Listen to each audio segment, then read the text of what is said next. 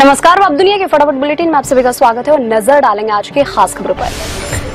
Lebanon में Israel और Hezbollah के बीच जंग तेज, इसराइली मीडिया का दावा, बंकर में बैठक कर रहा नरसल्ला के उत्तराधिकारी होशोम सफीदीन। इसराइल हमले में मारा गया आईडीएफ और नरसल्ला ने नहीं की सफीदीन की मौत की पुष्टि इसराइली रक्षा बलों का दावा, उसने दक्षिणी लेबनान के एक नगरपालिका भवन पर हमले में हिजबुल्ला के 15 सदस्यों को मार गिराया। आईडीएफ ने 20 से अधिक कस्बों के निवासियों को तुरंत अपने घर खाली करने की चेतावनी जारी की है।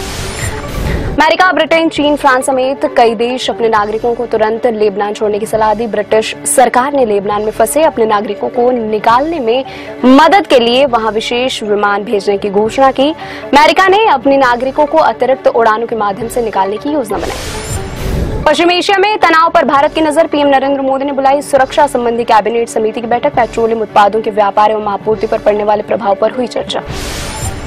बिहार के कई जिलों में बाढ़ की स्थिति गंभीर। कोसी, गंडक, बागमती, महानंदा, गंगा सहित राज्य के अधिकांश नदियों का जलस्तर विभिन्न स्थानों पर खतरे के निशान के ऊपर पहुँचा।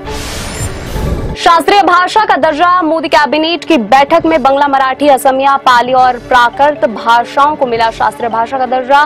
पश्चिम बंगाल की मुख्यमंत्री ममता बनर्जी और असम की मुख्यमंत्री हेमंता विश्व शर्मा समेत विभिन्न नेताओं ने किया फैसले का स्वागत। उत्तर प्रदेश के मिर्जापुर ज़िले में गुरुवार देर रात एक ट्रकर, ट्रैक्टर ट्रॉली की टक्कर में 10 लोगों की मौत हो गई और तीन लोग गंभीर रूप से घायल हो गए हैं। 18 जिलों में सोलह दशमलव पाँच लाख लोग प्रभावित।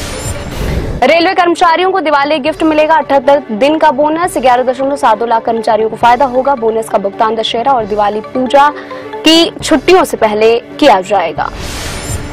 समाजवादी पार्टी के राज्यसभा सदस्य जया बच्चन ने आईटी पर संसदीय समिति की सदस्यता छोड़ी। बासोराज मुंबई की अध्यक्षता वाली श्रम, वस्त्र और कौशल विकास पर संसदीय स्थायी समिति की मेंबर बनी।